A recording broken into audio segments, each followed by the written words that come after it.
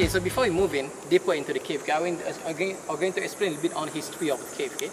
Cockroach. Yeah, cockroach over here, Oh. along the bridge. Oh, no. Oh. oh, right. You can protect the egg from the predator. In stalagmite, it grows because of the deposition of calcium carbonate in the cave. Okay, the calcium carbonate deposited on the ceiling layer by layer, so it turns into a stalactite. The one that drops on the floor, it turns into a stalagmite. We're going down, yeah. Ah, I know, we're not going down there. Okay? That one's seven meters down, okay? Okay. Oh, okay, it's seven meters by a very small hole, but you need to use rope to go in. Yeah, and we have a lot of long-legged centipede in there. Oh.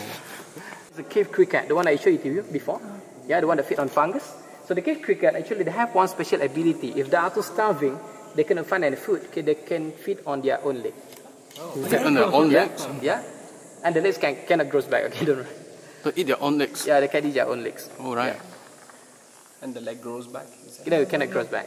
Cannot Huh? grow back. Then how they walk? Crawling again. No, they won't. Actually, they will not fit on all of their legs. They just leave around four. Normally, I just saw one leg missing, not more than that. Oh, okay. They have six legs. okay? They have six legs.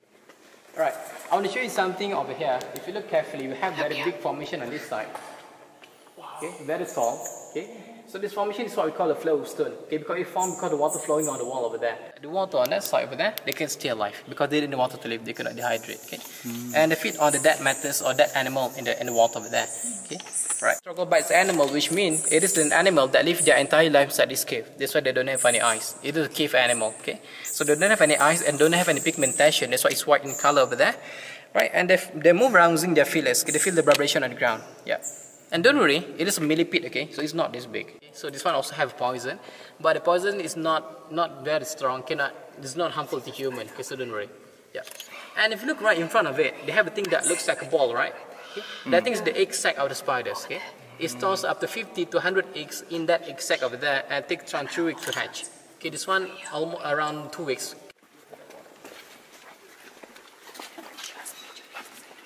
I need to know if your legs just for a while. Hmm. You switch off your legs and of course your camera, turn it off just for a while. Okay. Oh, the gravity is from 70s. Alright guys, so I want to show you something on the wall over here. Okay, if you look on the wall on that side, you have that white color formation. Okay. So that white color formation over there is what we call the cave curtain formation hanging down from the wall. Okay. Uh, and it is white in color because of pure calcium carbonate. Okay, no impurities on top of it. That's why it's white. Maybe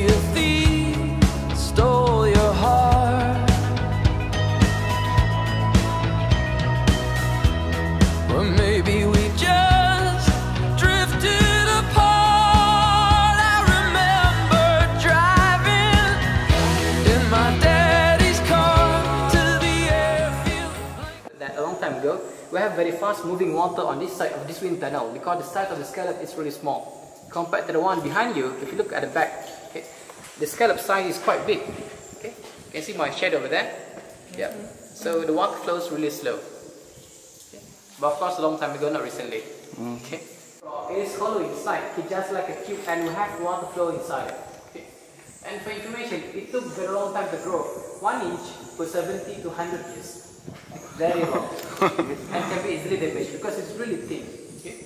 Right. There is formation in cave, we call it the cave pearls. And cave pearls, it is actually it is not anchored to the floor. Okay? It loose, you can pick it up really easy. Okay?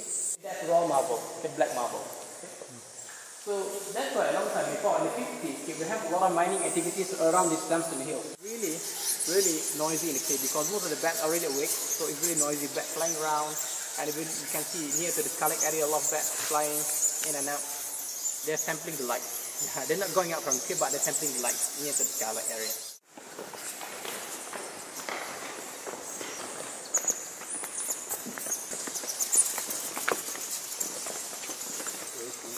A bit smelly, right? Yeah.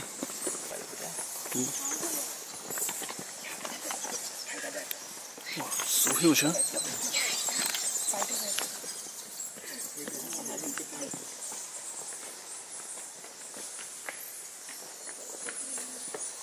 Today I didn't find anything so far. Asking them to stop the quarrying totally because the quarrying is very important for our, for development of the country. Okay, but they need to keep it balanced between development and the conservation. And also they need to know appropriate to do it. For example, in Malaysia, okay, they just need to go underground. Because down there, okay, we have 90% of population in the area and no animal that live inside it. Okay, compared to the one up here, we have only 10% and a lot of animals depend on it. Okay, that's why we need to protect this kind of place. Okay. And the purpose we did this Education tour, we want to provide the people awareness and also the knowledge about the importance of land.